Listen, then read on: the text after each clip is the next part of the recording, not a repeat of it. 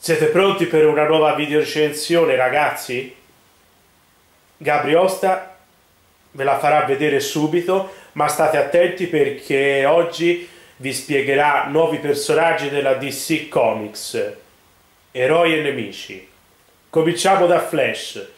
Ora ve lo spiego meglio chi è Flash, se state tutti attenti e concentrati. Dopo un incidente elettrico nel suo laboratorio, lo scienziato Barry Allen si ritrovò con l'abilità di muoversi, pensare e reagire a super velocità.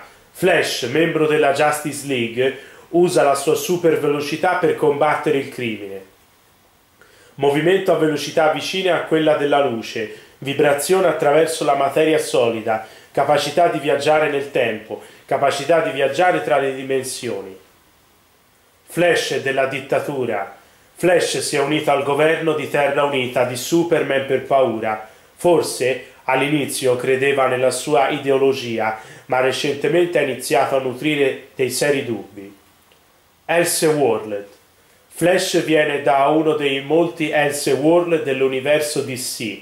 Nella sua realtà, Barbara Gordon, figlia del commissario James Gordon, sovraintende tende Gotham City come dittatrice e Supergirl è la protettrice di Metropolis. Ha un'aurea che annulla la frizione.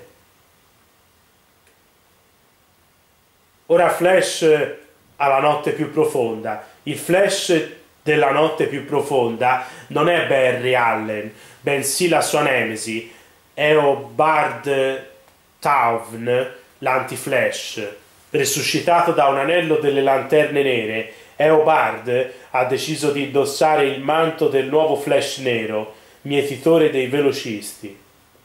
Terra 2 Jay Garrick è il Flash di Terra 2. Dopo avergli donato i suoi poteri, l'Olimpico Mercurio mette in guardia il nuovo Flash circa il grande pericolo che sta per minacciare la Terra. Inti mandogli di non fidarsi di nessuno. Fate attenzione perché adesso Gabri Osta vi spiegherà e vi farà conoscere l'arciere freccia verde, oppure potete chiamarlo Green Arrow se volete. Chiamatelo come volete. Come un moderno Robin Hood, l'ex miliardario Oliver Queen agisce in base ai propri ideali progressisti nei panni di Freccia Verde ha un arsenale di frecce truccate che riflette la sua personalità.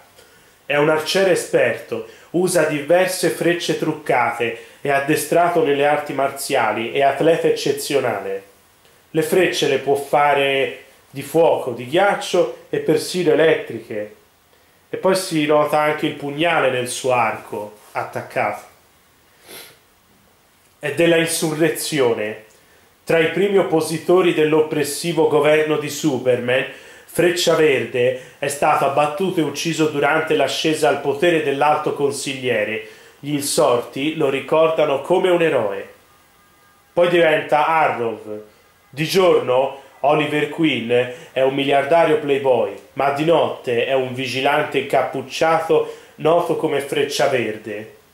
Per esaudire l'ultimo desiderio di suo padre, Queen riporterà Starling City al suo antico splendore. Ora vi spiegherò un lanterniano che voi lo conoscete benissimo e l'avete visto al cinema nel 2011. Vi spiegherò Lanterna Verde che viene dal pianeta Oa, ma voi potete chiamarlo Green Lantern se volete.